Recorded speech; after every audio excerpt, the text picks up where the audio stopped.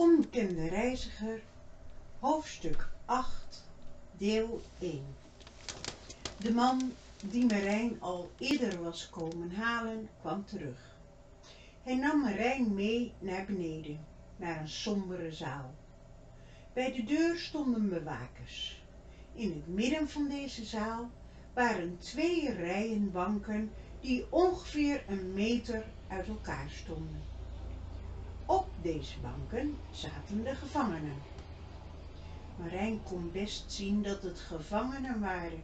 Ze zagen er smoezelig, stuurs en neerslachtig uit en zaten daar met gebogen hoofd. Hij had wel eens een dansende beer gezien. Die zag er precies zo uit. En de mensen op de bank die wel dichterbij stond, waren de bezoekers. Zij zagen er anders uit, kwieker, maar ook meer gespannen. Er stonden overal bewakers die verveeld rondhingen. En de nerveuze blikken van de bezoekers waren vooral op de bewakers gericht. In de zaal klonk het gedempte geluid van schuifelende voeten en treurige gesprekken. De man zei dat Marijn op de dichtstbijzijnde bank moest gaan zitten. Na een poosje kwam Diederik met twee bewakers door een andere kant van de zaal. Diederik zag er ook al zo smoezelig en neerslachtig uit. Marijn had eigenlijk gedacht dat hij langer was dan hij nu leek. Ze zetten Diederik op de bank tegenover Marijn. Jullie hebben tien minuten, zei ze tegen Marijn. Toen mochten ze praten. Marijn slikte. Hij wist niet wat hij zeggen moest. Wacht even, zei Diederik. Kijk eerst eens even achter me in de zaal. En zeg eens of daar iemand is die kan horen waar we het over hebben. Marijn keek. De dichtstbijzijnde bewaker stond een heel eind verderop met een ander te praten. Nee, ze staan minstens twee wagenlengten van ons af. Hij wilde zich omdraaien om te kijken of er ook iemand achter hem stond.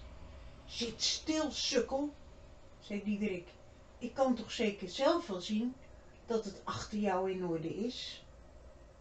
Goed, zei Marijn.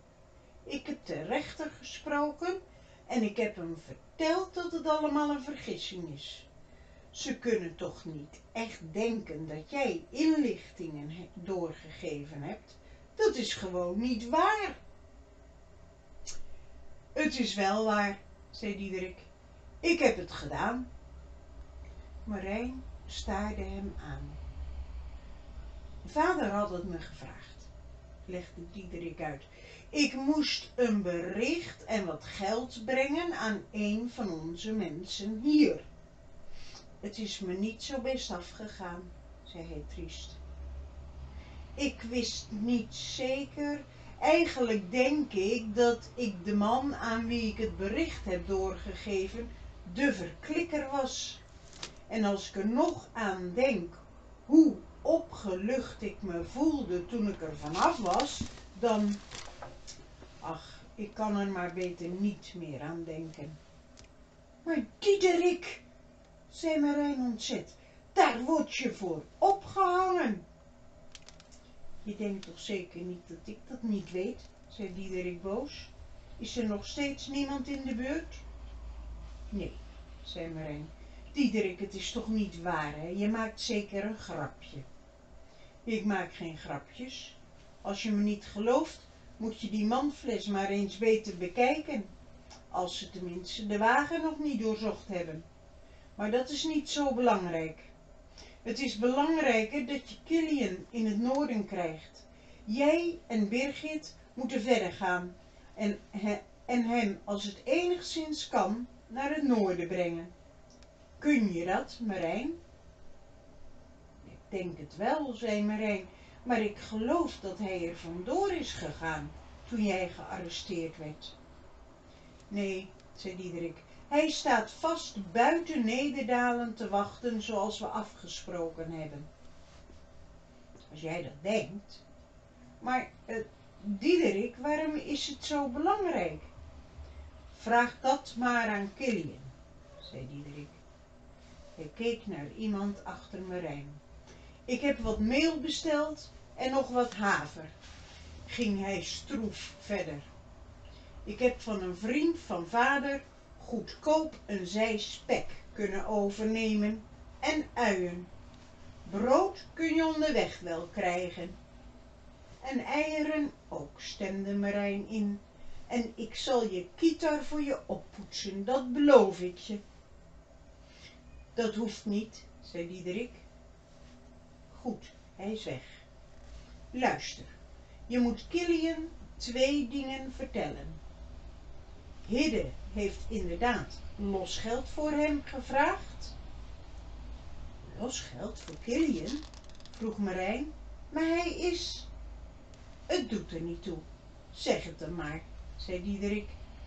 Het volgende is veel belangrijker. Graaf Tristan is bezig een leger op de been te brengen en...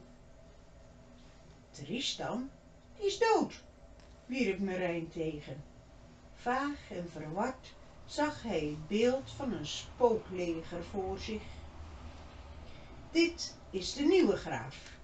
Hij heet ook Tristan. Val me toch niet al door in de rede, er komt iemand aan achter je, zei Diederik.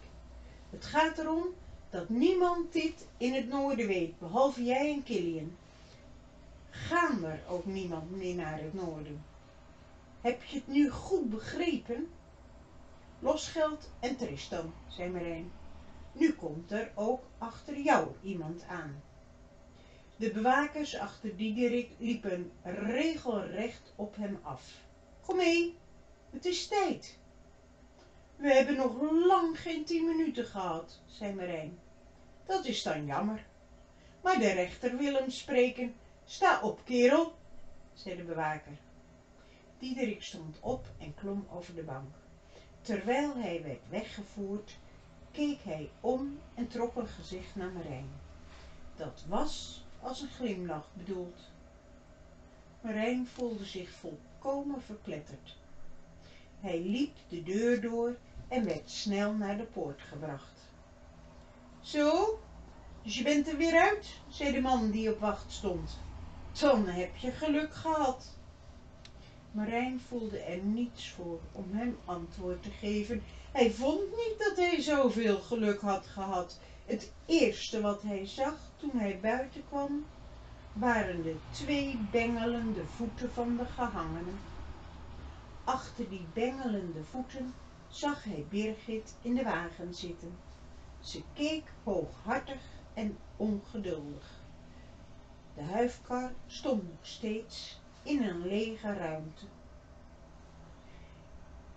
En behalve de zak haver stonden er alleen nog andere zakken en bundeltjes die stuk voor stuk voor Birgit alleen te zwaar waren.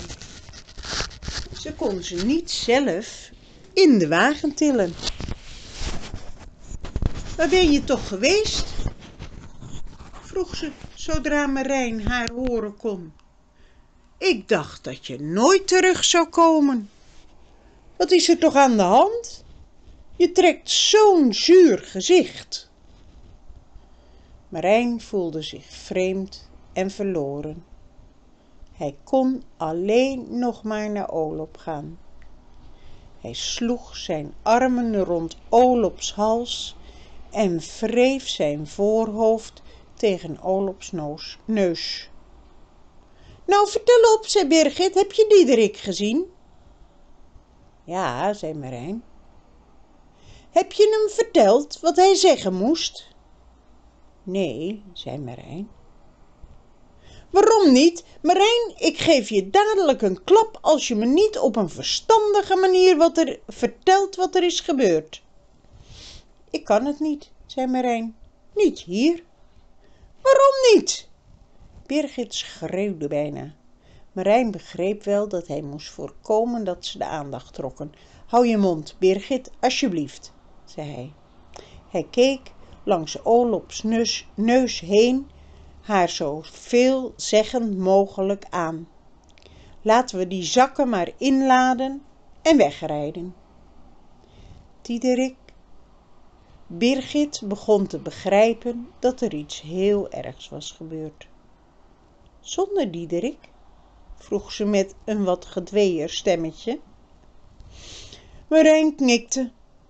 Hij rukte zich van de warme, zachte, vriendelijke oorlop los en begon aan een zak te trekken. Birgit sprong boos van de wagen en hielp hem. In hemelsnaam, Marijn, fluisterde ze. Zo erg kan het toch niet zijn? Je doet net of ze Diederik willen ophangen. Zo is het ook, zei Marijn. Birgit werd bleek. Maar ze kon het niet geloven. Nee, zei ze, ook dat nog. Waarom? Als we alles hebben ingeladen, zal ik het je onderweg wel vertellen, zei Marijn. Ze laden de wagen in en Birgit reed het plein af. Ze reden over een met ronde keien bestrate weg, waar de wagen zo hard rammelde dat hun gefluister voor anderen onverstaanbaar was. En Marijn vertelde wat er was gebeurd. Birgit werd er zo slap en misselijk van dat ze niet meer kon mennen.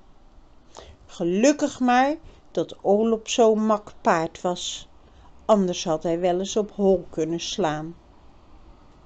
Ik kan het niet geloven, zei Birgit steeds weer. En dat zei ze nog, toen Kilian een halve mijl buiten Nederdalen van achter een heg tevoorschijn kwam. Hij lachte opgelucht. Toen hij echter zag dat ze maar met z'n tweeën waren, verdween zijn lach.